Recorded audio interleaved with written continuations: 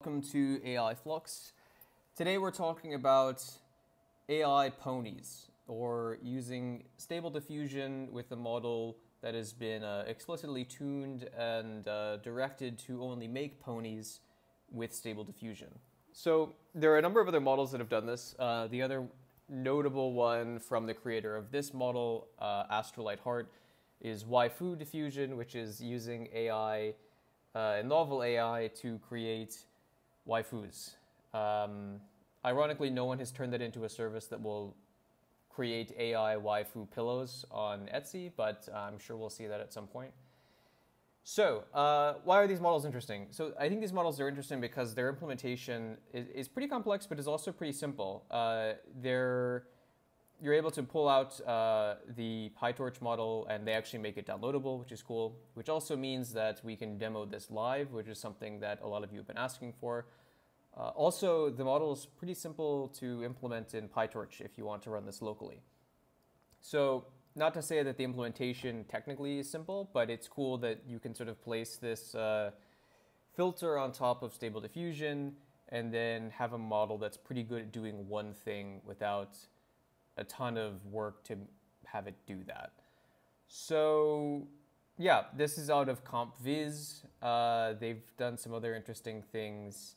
Uh, they mentioned novel AI for it's the GPUs they borrowed to do this.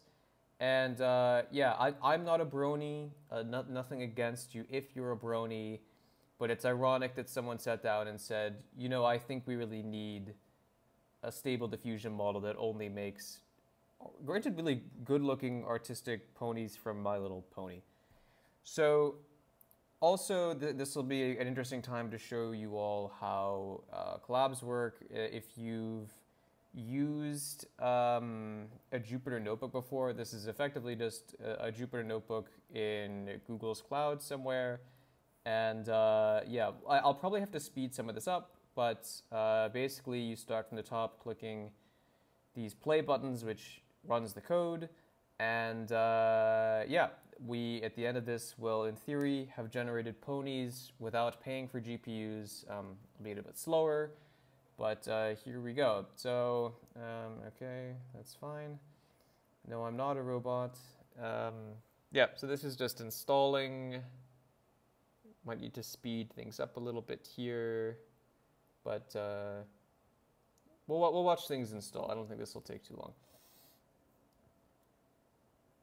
I spend enough of my time during the week watching Python dependencies install. So may, this this should be uh, cool and entertaining to some of you, and to some of you this might be uh, a little nauseating.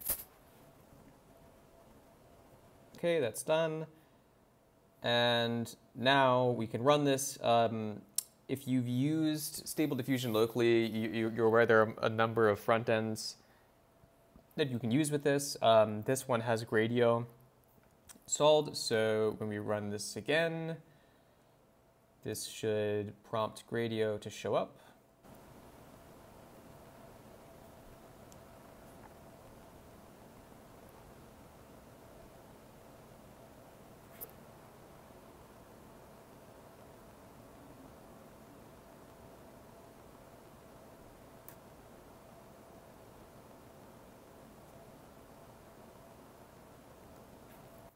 All right, so as you can see, after we sped that up, uh, which is you know three minutes or so, we now have Pony diffusion. So I don't, nothing against it. I don't watch a lot of uh, Pony content, so I am going to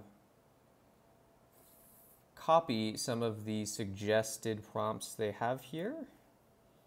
Nothing against it. Uh, I'll modify it so it looks a bit more interesting. Uh, let me find the color. There we go.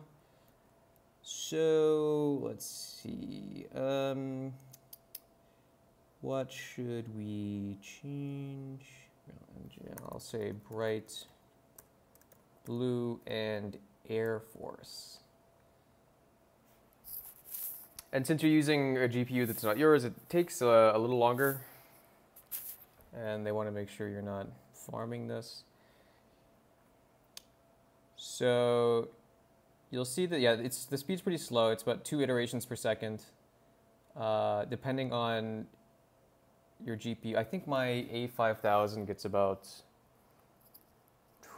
twice that. Depends on the model though, so it's hard to compare. Okay, 51 iterations, and we have ponies. So let me take out, uh, let me see here, I'll say uh, Air Force flight suit. Novale. And I think you, th these are just timed, so these Colabs will just expire after a certain amount of time. But, uh, but yeah, you see everything we're putting in. Uh, I didn't explicitly put pony anywhere or My Little Pony. And um, it's been pretty straightforward. And uh, yeah, so if you want to make endless ponies or have your own um, pony, oh, that worked. Uh, this might be so. The, the funny thing with this is uh, the the NSFW filter is still is still enabled. So anything that's NSFW, it'll black out. And the irony is this model uh, about I'd say 20 to 30 percent of the time we'll end up with something that the stable diffusion model itself thinks is sexually explicit. And ironically, none of what I just put in is sexually explicit. So um, I think we have that creative liberty to thank the Brony community for. Major shout out to the Brony community. Um, so yeah, uh, I, I, I'm going to try to make this the thumbnail all due respect. And uh, yeah, so thank you everyone.